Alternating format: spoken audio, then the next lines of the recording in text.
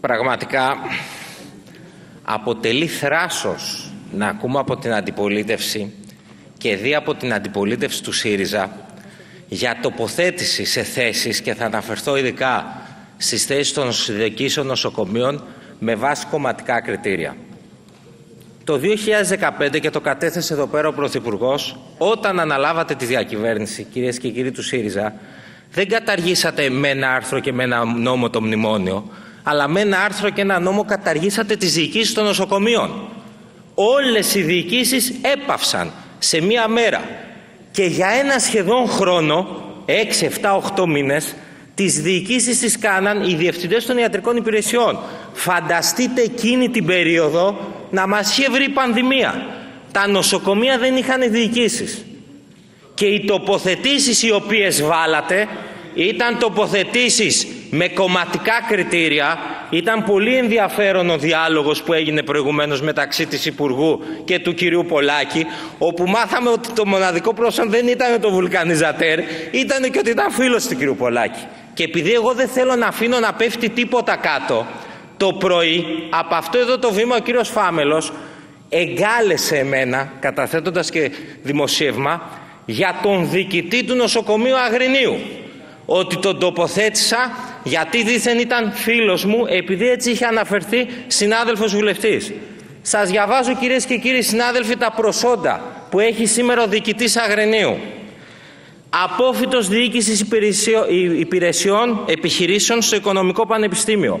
Απόφυτος της Εθνικής Σχολής Δημόσιας Υγείας 30 χρόνια προϋπηρεσία σε ΙΑΣΟ, ΔΙΝΑΝ και ασφαλιστικές εταιρείες και για 7 χρόνια δίδασκε στο μεταπτυχιακό τμήμα του Γαλλικού Ινστιτούτου για δομές διοίκησης υπηρεσιών υγείας. Αυτός ο άνθρωπος λοιπόν τολμάει ο κύριος Φάμελος να έρχεται εδώ επικαλούμενος έναν βουλευτή που προφανώς είχε ενοχληθεί γιατί δεν μπήκε αρεστός στο νοσοκομείο και παράλληλα κάλυπτε τον κύριο Ξανθό και τον κύριο Πολάκη που με τις επιλογές τους είχαν έναν άνθρωπο που είχε βουλκανιζατέρ. Και αυτή ήταν λοιπόν μια ποιοτική διαφορά. Επιπλέον, τι κάναμε εμείς; Παρακαλώ, παρακαλώ, παρακαλώ. Τι Δεν κάναμε καταγράφετε εμείς; τίποτα. Ελάτε, ελάτε, ελάτε, ελάτε. Τι κάναμε εμείς; Παρακαλώ πολύ. Παρακαλώ πολύ. Ηρεμήστε. Λοιπόν, Παρακαλώ. Συνεχίστε κύριε Πλεύρη. Λοιπόν, Δεν καταγράφετε ωραία. τίποτα. Λοιπόν, εγώ θα ήθελα να παραμείνει ο κύριος Πολάκης γιατί έχω κι άλλα να του πω τώρα. Καλά, μην Τι απευθύνεστε, επιπλέον κύριε- έγινε; Κύριε Πολάκη, μη φοβόσαστε, μη φεύγετε Κύριε κάποιος. Πλεύρη. Μόλις Παρακαλώ. λοιπόν αναλάβαμε εμείς το 2019 καμία διοίκηση που είχε μπει από το ΣΥΡΙΖΑ και δεν είχε λήξει δεν πάφτηκε κυρίες και κύριοι συνάδελφοι. Αν θέλει ο κύριος Πολάκης που φεύγει να του πω τα ονόματα των διοικητών που έχουν την υπογραφή του και του κυρίου Ξανθού και κάνανε κανονικά όλη τους τη θητεία και συνεργαζόμασταν μαζί τους. Γιατί εμείς σεβόμασταν ότι είχε υπάρξει μια διαδικασία παρόλο που ήταν μια αδιαφανής διαδικασία κομματική του ΣΥΡΙΖΑ αλλά τη σεβαστήκαμε. Και κάναμε το πρώτο και σημαντικό βήμα που ήταν ο νόμος του 2020 όπου εκεί πέρα υπήρχαν κριτήρια και τα κριτήρια ακόμα και στις προσωρινές διοικήσεις κατελάχιστον ήταν πανεπιστημιακό πτυχίο πενταετή προϋπηρεσία και κατοχή ε, τίτλου ε, ξένης γλώσσας ε, επάρκειας και με αυτόν τον τρόπο γίνανε οι τοποθετήσεις. Και κυρίες και κύριοι συνάδελφοι, το είπα και στην Επιτροπή και θέλω να το επαναλάβω εδώ. Αυτό που έζησαν οι διοικητές των νοσοκομείων στη διάρκεια 2023 δεν το έχει ζήσει κανένας διοικητής από καταβολής του ΕΣΥ. Ήταν άνθρωποι οι οποίοι κλήθηκαν να διαχειριστούν την πανδημία Συγχαρητήρια και σωστά λέμε στους γιατρούς, στους νοσηλευτές, το λοιπό προσωπικό, το βοηθητικό προσωπικό, το διοικητικό, αλλά υπήρχαν και διοικήσεις. Και όταν κάποιοι εδώ πέρα κάνουν εύκολη κριτική και το βράδυ πέφτανε να κοιμηθούν τις δύσκολες μέρες της πανδημίας, αυτοί οι διοικητές βλέπανε νοσοκομεία με 150% πληρότητα. Και αυτοί οι διοικητές χρήζουν σεβασμού. Και εγώ από την πλευρά μου τους ευχαριστώ που συνεργάστηκα μαζί τους και όλοι αυτοί οι διοικητές προσέφεραν. Άλλοι είναι καλοί, άλλοι ήταν μέτροι, άλλοι ήταν κακοί, υπήρξε διαδικασία αξιολόγησης, αλλά όλοι βρέθηκαν σε πρωτόγνωρες συνθήκες. Και αξίζουν συγχαρητήρια στο Υπουργείο Εσωτερικών.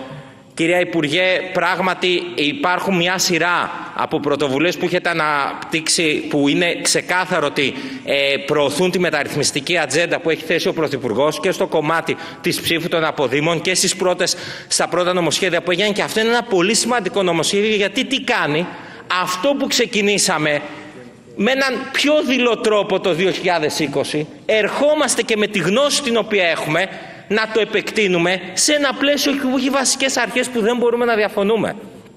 Πέρα από τα τυπικά προσόντα τα οποία αναφέρονται, επιπλέον έρχεται το κομμάτι των τεστ δεξιοτήτων, που είναι πάρα πολύ σημαντική διαδικασία και γίνεται παντού, Υπάρχει στοχοθεσία που η στοχοθεσία είναι κάτι πρωτοποριακό διότι πλέον ο διοικητής θα ξέρει ποιοι είναι οι στόχοι του και θα έχει ένα αντικειμενικό κριτήριο να ελεγχθεί από την πολιτική ηγεσία. Φτάνουμε σε ένα κλειστό σύστημα γιατί άκουσα πολλές φορές να λένε το ΑΣΕΠ και γιατί να μην καταλήγεις στον έναν το ΑΣΕΠ. Μα προσέχτε. Ακόμα και για να φτάσεις στη συνέντευξη, πας σε ένα πολύ κλειστό σύστημα. 7 ατόμων, άρα έχει γίνει μια πολύ μεγάλη αξιολόγηση. Γίνεται η συνέντευξη, φτάνουμε στα 3 άτομα και ναι, όπως πολύ σωστά υπόθηκε και από την Υπουργό και από τον Πρωθυπουργό εδώ πέρα, υπάρχει το κομμάτι της πολιτικής ευθύνης. Και το κομμάτι της πολιτικής ευθύνης είναι ότι ο Υπουργός πλέον στα άτομα που έχουν αξιολογηθεί με τον πλέον αυστηρό τρόπο ότι μπορούν να διοικήσουν μία δομή και στο συγκεκριμένο πλαίσιο ένα νοσοκομείο, όπως αναφέρεται σε αυτό που συζητήσαμε, θα έχει και την πολιτική ευθύνη της επιλογής. Σε αυτό λοιπόν το νομοσχέδιο, επί της αρχής, θα έπρεπε να υπήρχε απόλυτη συμφωνία και από εκεί και πέρα να συζητούσαμε εάν πρέπει τα χρόνια της προϋπηρεσίας να είναι 10 ή να είναι λιγότερα, αν πρέπει η συνάφεια να είναι τόσα χρόνια ή διαφορετικά χρόνια, αν πρέπει να έχει τόσα μόρια η συνέντευξη ή τόσα μόρια ή αν θα πρέπει να είναι ο διδακτορικός τίτλος. Αλλά αυτά θα έπρεπε να ήταν η επιμέρους συζήτηση.